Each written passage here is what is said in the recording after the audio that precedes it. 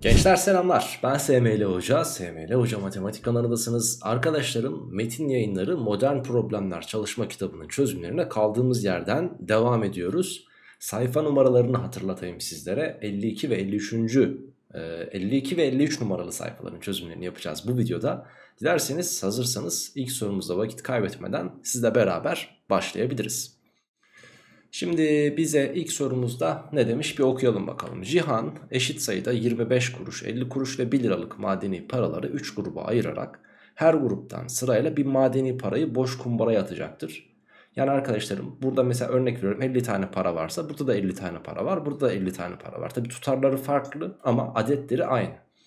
Cihan paraları atmaya 25 kuruştan başlayıp 25-51, 25-51 olacak düzende kumbaraya atmaya başlamış ve bu atma işleminin belli bir anında 50 kuruşluk parayı attıktan hemen sonra durup kumbaranın içindeki 1 liraların adedinin, ederinin kumbaranın dışında kalan 25 kuruşların ederinden 4 lira fazla olduğunu görmüş.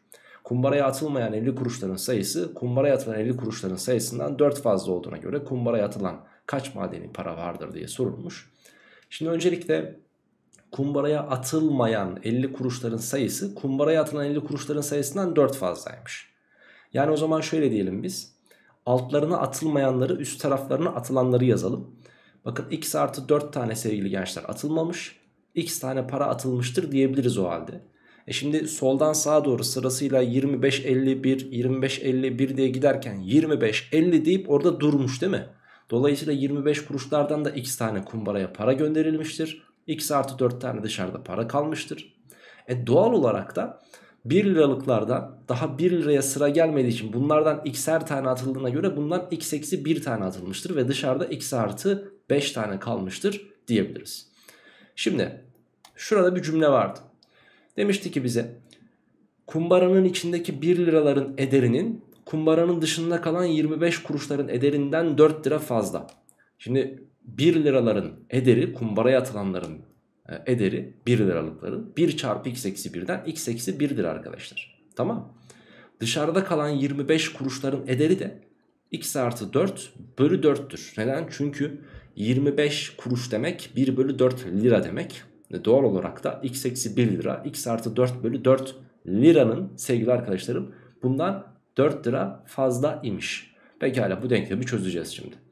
4'ü bu tarafa gönderdiniz x eksi 5 yaptı eşittir x artı 4 bölü 4 dediniz. İçler dışlar çarpımından 4x eksi 20 eşittir x artı 4 dediniz. Buradan arkadaşlarım 3x eşittir 24 yapar x ise eşittir 8'dir diyebiliriz. Kumbaraya atılan kaç tane madeni para vardır? Kumbaraya x, 2x, 3x eksi 1 tane para atılmıştı. E doğal olarak x'i ben 8 bulmuştum. 3 çarpı 8 eksi 1'den doğru cevabımız 23 olmalıydı. Yani cevabımız C seçeneğinde verilmiş gençler. Devam ediyorum ikinci sorumla. İlk sayfası birden başlanarak numaralandırılan 100 sayfalık bir kitabın arasından ard arda gelen 3 tane yaprak koparılıp alınıyor. Şimdi 3 tane yaprak alınmış ya. Bakın şöyle diyelim. Şöyle bir tane yaprak alınmış. Şöyle ikinci yaprak alınıyor arkadaşlarım. Şöyle gösterelim. Ve bir tane daha yaprak alınıyor. Onu da şu şekilde gösterelim. Şöyle bakın 3 tane yaprağı koparıp almışız tamam mı? Tabi bu 3 yaprakta ardışık olarak 1, 2, 3, 4, 5, 6 tane e, sayı var. Ardışık, ardışık 6 tane sayı var. Her yaprağında 2 sayı yazıyor çünkü. Pekala yapraklar koparıldıktan sonra kitapta kalan sayfa numaralarının toplamında 4609 oluyor. Şimdi bu, sayf bu kitap 100 sayfalık bir kitaptı. E doğal olarak da bu 100 sayfalık e, kitabın sayfa numaraları toplamı birden 100'e kadar olan sayıların toplamıdır. Ve bu da 100 çarpı 101 bölü 2 kuralıyla bulunabiliyordu. Ben %2'yi sadeleştirirsem 50. 50 kere 101 de bize 5050'yi verecektir.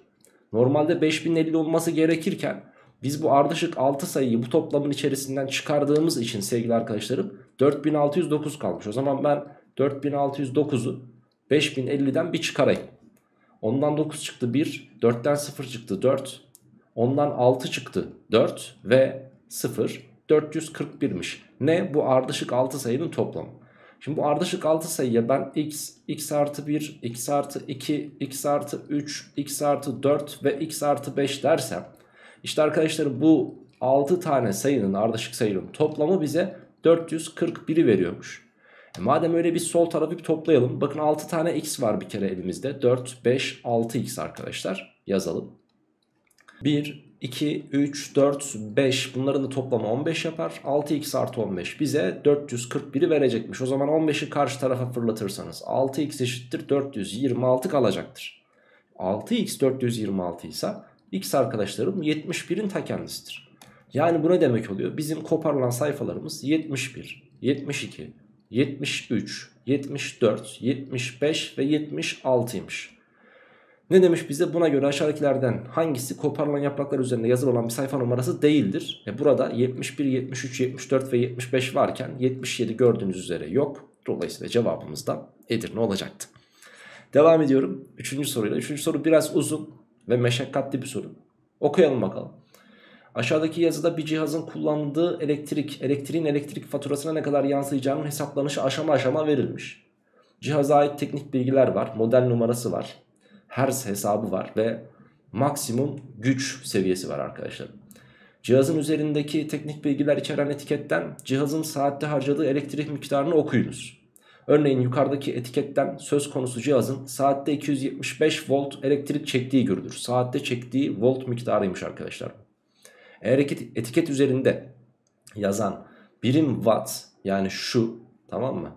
Cinsinden de kilovata çeviririz. E, 1 kilowatt eşittir 1000 wattmış. Yani sen bunu 1000'e böleceksin diyor. Kilovata çevireceğiz tamam mı? Cihazınızın aylık çalışma süresini saat cinsinden hesaplayıp bulduğunuz kilowatt değeriyle çarpınız. Günlük harcadığı kilovatı e, üzerinden ayda kaç saat harcıyorsak e, bunu bulacağız ve çarpacağız. Böylelikle bir ayda ne kadar harcadığımızı bulacağız. Bulduğunuz tüketim değerini güncel elektrik birim fiyatı ile çarptığınızda cihazınızın kullandığı elektriğin faturanıza ne kadar yansıdığını göreceksiniz. Şimdi elektriğin 1 kW'nın fiyatı vergiler dahil 90 kuruş olduğu bir ayda. Bir aile aşağıdaki görselde bulunan cihazı günde ortalama 2 saat kullanıyor. Şimdi bu aile 1100 ile 1200 watt arasında kullanıyorsa ben bunları 1000'e bölersem arkadaşlarım 1.1 kilowatt ile 1.2 kW arasında bir elektrik kullanıyormuş saatte bu cihaz. Tamam mı? Ve aylık 30 gün faturaya ha bir de şurada ne vardı? Cihazı günde ortalama 2 saat kullanıyor. Ha 2 saat kullanıyorsa bir günde 2.2 kW'la 2.4 kW arasında kullanılıyor. E, 30 günlük faturada da o zaman bunu 30'da çarparsanız 66 kW ile bunu 30'da çarparsanız 72 kW arasında bir değerde e, kullanılıyor 30 gün boyunca. Ve bunun da sevgili arkadaşlarım şeyi neydi? E, saat fiyatı neydi? 1 kW'ın fiyatı 0.9 TL'ydi saat değil. 1 kW'ın fiyatı 0.9 TL yani 90 kuruş. O zaman biz ne yapacağız? Bunu 9 ile çarpacağım. Bunu 9 ile çarpacağım. Şimdi 66'yı 9 ile çarparsanız 540 artı 54'ten 694 yapar. Ve bir tane virgülü görmediğimiz için 69.4 TL yapar. 9 kere 72 de 630 artı 18'den 648 yapar arkadaşlar. Tabi bir tane virgülü buraya attığımız zaman 64.8 TL. Bu arada bir yerde hatamız var. Şurada hatamız var. 6 kere 9 dedik 540 şurası 59,4 yapacak arkadaşlar. Kusura bakmayın yanlış çarptım. Tamam ben de yanlış çarpabilirim sonuçta. TL cinsinden ederi hangisi olabilir? 59 lira 40 kuruşla 64 lira 80 kuruş arasında bir fiyat olması lazım. O da sadece Denizli seçeneğinde mevcut zaten. Soruyu anladığınız zaman aslında çok da fazla bir işleme ihtiyacınız yok. Devam ediyorum dördüncü sorumla. Bir meyve sepetinde portakal, elma ve muz bulunmakta. Elmaların sayısı muzların sayısının iki katı. Şimdi portakal var arkadaşlar. Elma var. Ve bir de muz var. Elmaların sayısı muzların sayısının 2 katıysa buna x dersem bu 2x tane elmaya karşılık gelir. Sepetten 5 tane elma çıkarılırsa toplam meyve sayısı başlangıçtaki toplam meyve sayısının 2 bölü 3'ü olmaktaymış. Yani arkadaşlar şöyle diyeceğiz. Ben 5 tane sepetten elma çıkarırsam 2x eksi 5 tane elma kalır. Burada x tane muzumuz vardır. Portakal sayısını hala bilmiyoruz. Ama toplam meyve sayısının 2 bölü 3 oluyormuş bu şekilde. Şimdi burada bir şeye dikkat etmeniz lazım.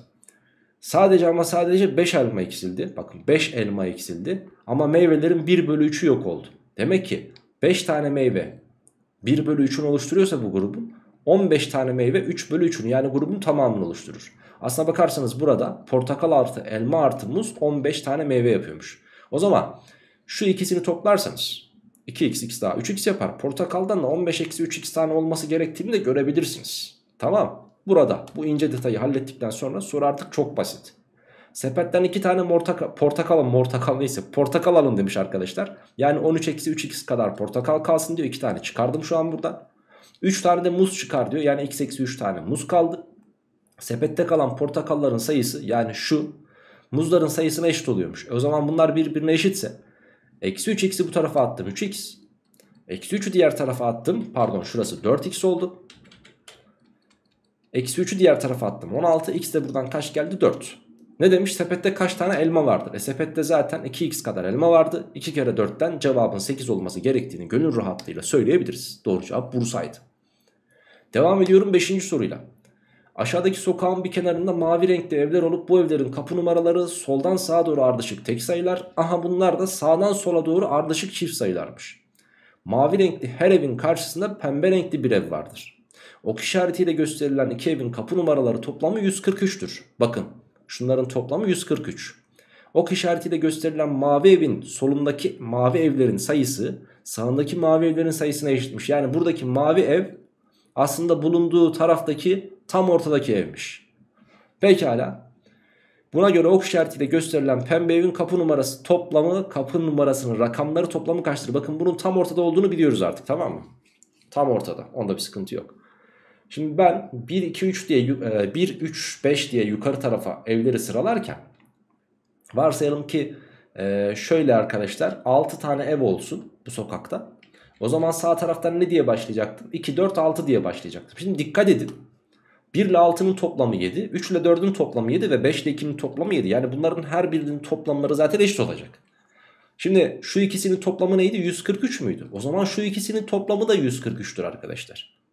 E o zaman şuna ne kalır? 141 kalır. Çok güzel. Şimdi üst tarafta kaç tane ev olduğunu bulabiliriz. Tek sayıların bize formülize edilmiş hali 2n-1'di. Sen bunu gidersin 141'e eşitlersen 2n eşittir 142 yapacaktır. Ve n buradan 71 gelecektir. Demek ki üst tarafta 71 tane ev var.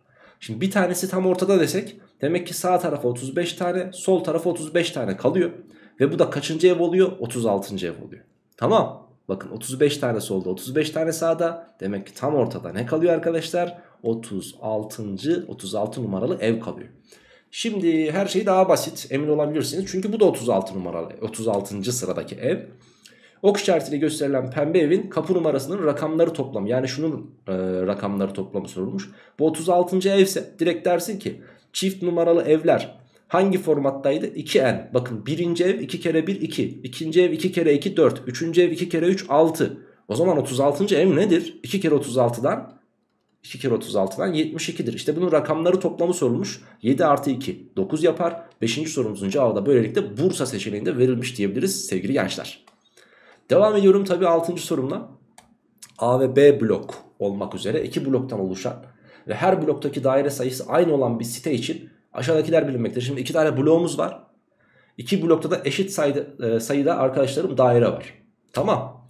Pekala A ve B bloklarındaki dairelerin bir kısmı dolu bir kısmı boş. Buna da eyvallah. A blokta boş olan 5 tane daire olduğunda tüm sitedeki dairelerin 5 bölü 6'sı dolu olmakta.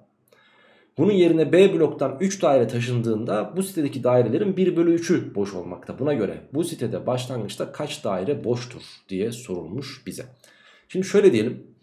A ve B blokta toplamda boş daire sayısına arkadaşlar biz x desek. Toplamdaki boş daire sayısına x desek.